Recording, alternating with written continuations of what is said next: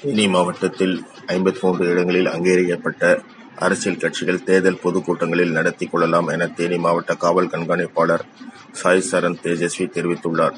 சட்டசபை தேர்தலை முன்னிட்டு தேர்தல் கமிஷன் உத்தரவின்படி அங்கீகரிக்கப்பட்ட அரசியல் கட்சியினர் பிரச்சாரங்கள் பொதுக்கூட்டங்கள் நடத்த ஐம்பத்தி மூன்று இடங்கள் ஒதுக்கப்பட்டுள்ளன. அவற்றில் தேனி வட்டாரத்தில் பதினோரு இடங்களும், போடியில் ஒன்பது இடங்களும், உத்தமபாளையத்தில் பன்னெண்டு இடங்களும், ஆண்டிப்பட்டியில் ஒன்பது இடங்களும், பெரியகுளத்தில் பன்னெண்டு இடங்களும் என்று மொத்தம் ஐம்பத்து மூன்று இடங்கள் ஒதுக்கப்பட்டுள்ளது.